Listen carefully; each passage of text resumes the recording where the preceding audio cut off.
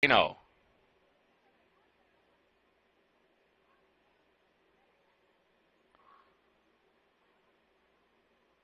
They're all in line. And they're off.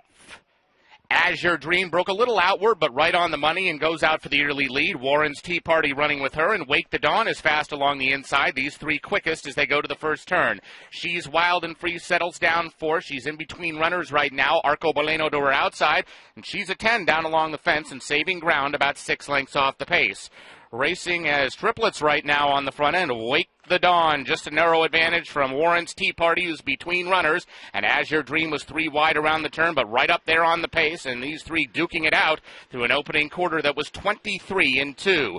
Arco Baleno has worked her way into a good spot fourth, in behind those dueling leaders, and she's out in the clear, well out in the center of the track, and less than three lengths off the lead and the two she's at the back of the pack. She's a 10, and she's wild and free, racing together with six lengths to make up as they move for that half mile pole, 47 and 1. The opening half mile, still nothing between the top three. Wake the Dawn, a narrow advantage. Azure Dream, three wide into the far turn once again, and Warren's Tea Party in a tough spot third. She's got to do a little bit better now, dropping a length and a half off the lead of Wake the Dawn. And Brian Pena, as they come toward the top of the stretch, she's a 10, is now switched to the outside and trying to rally with She's Wild and Free. They've got to reel in Wake the Dawn. Wake the Dawn, the leader. She's a 10 now under a full head of steam and closing with She's Wild and Free, and they're both moving quickly at Wake the Dawn. She's Wild and Free. She's a 10 between runners. Wake the Dawn trying to fend them both off. Can't do it though. She's a 10. She's Wild and Free now, both on by, and it's She's a 10 with a narrow advantage.